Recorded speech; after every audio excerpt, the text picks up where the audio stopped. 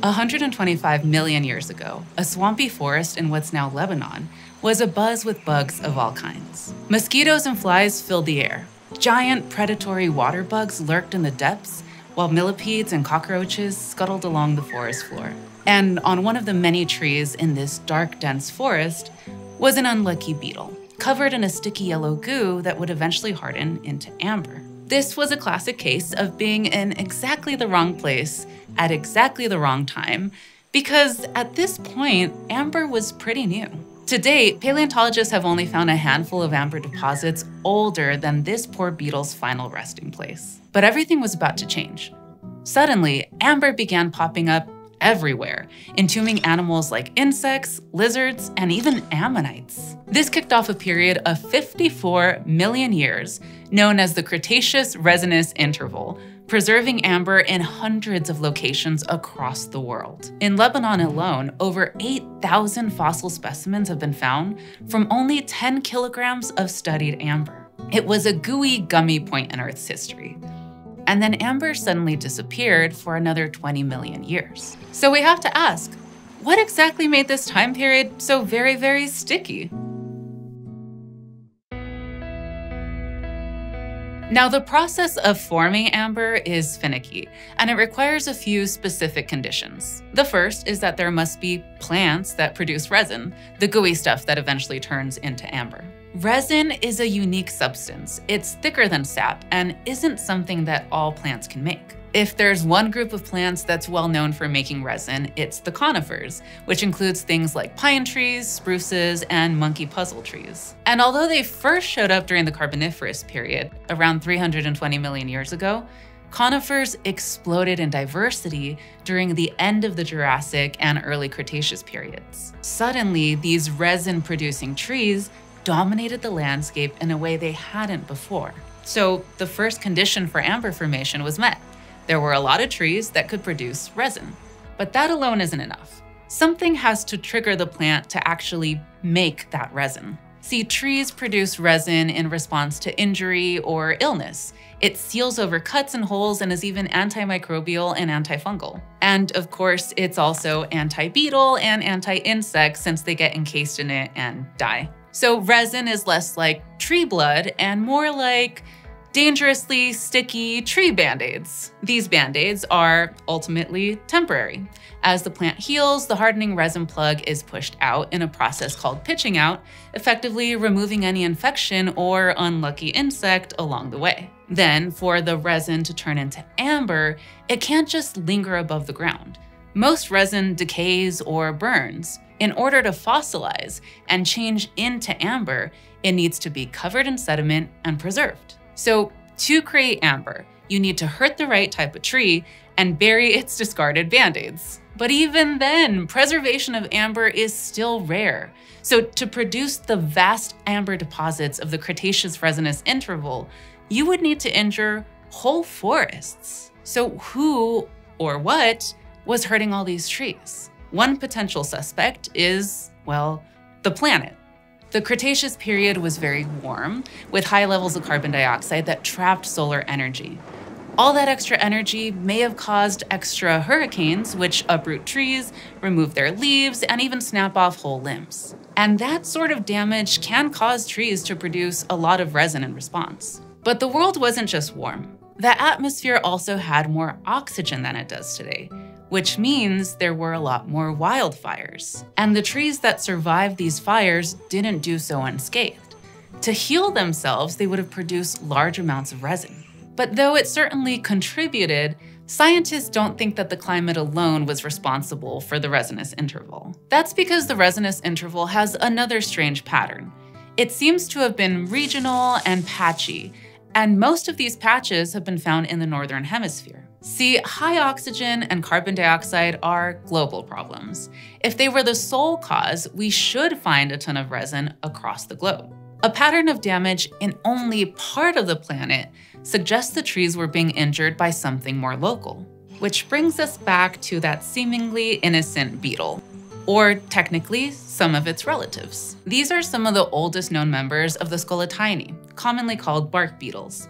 Today, there are over 6,000 described species. And some bark beetles have such a specialized set of adaptations that they've earned themselves the name ambrosia beetles. They eat only ambrosia fungus, which they farm themselves by burrowing into trees and planting the fungal spores on the walls of their tunnels. The beetles even tend to their crops by weeding out competing fungi and bacteria. And when it's time for ambrosia beetles to move on and establish a new colony, they bring their fungal gardens with them. Ambrosia beetles have evolved special pockets or divots on their bodies called mycangia, which are humidity and temperature controlled to keep fungal spores alive between their homes, which is great for the beetles, but not for the trees. Ambrosia fungus is one of a tree's worst enemies. For them, it's a terrible parasite that spreads throughout the wood. Infected trees may wilt, have stunted growth, or even die.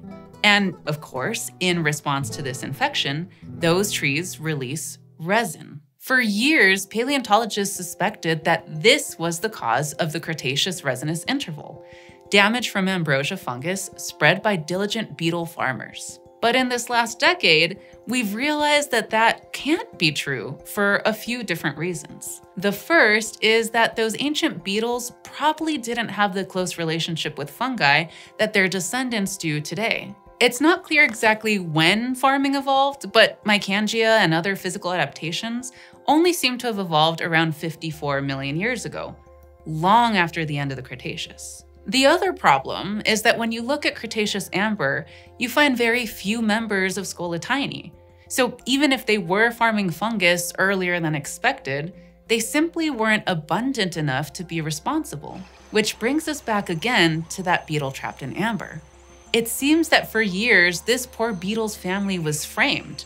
But by who?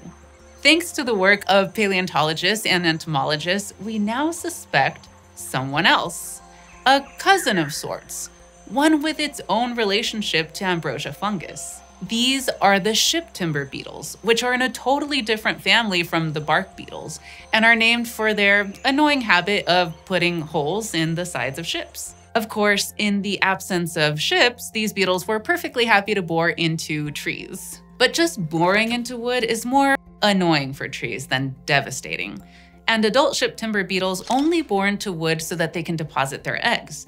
The larvae live in the wood, but the adults fly away. The fungus can often end up in the boreholes too, which scientists initially thought was just an accidental infection, with the fungus taking advantage of the holes bored by larvae. So, wouldn't that make ship timber beetles just like bark beetles?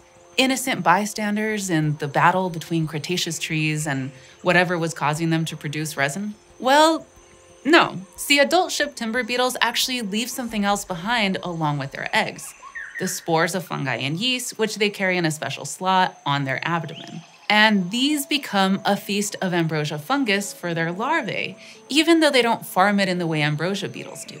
In fact, this may be how the relationship between the ambrosia beetles and their fungi first evolved, with an accidental benefit soon turning into full agriculture. But the realization that the mothers are deliberately introducing the fungus makes it more likely it was ship timber beetles that were actually behind the spread of the fungus. They weren't bystanders, but instead disease vectors. And unlike ambrosia beetles, ship timber beetles are far more common in Cretaceous amber. So paleontologists originally had the right fungus, but the wrong beetle. While research is always ongoing, it seems for the moment that we've identified the Cretaceous culprit. Yet, both ambrosia and ship timber beetles are still around today, and the Cretaceous resinous interval stopped in, well, the Cretaceous. So, why didn't it and the accompanying spike in amber preservation continue? Well, like we said before, amber is finicky.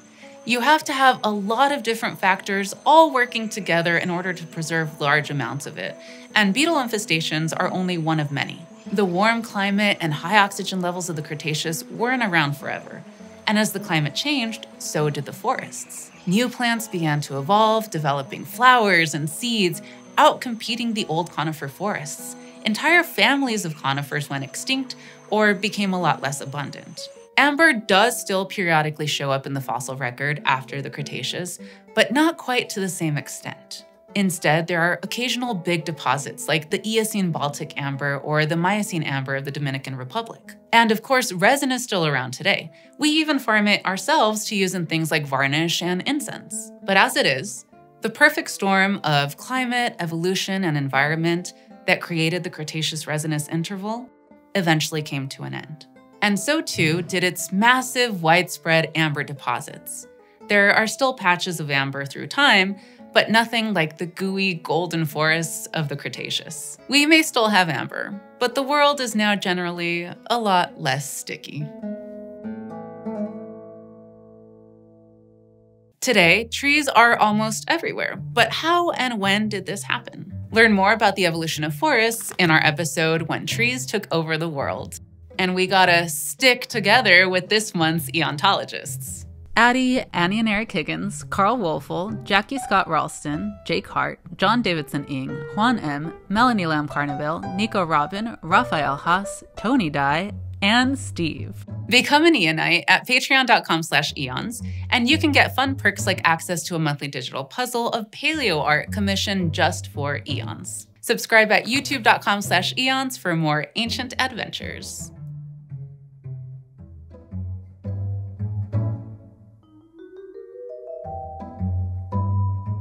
My gosh, the first behind the scenes with the new set.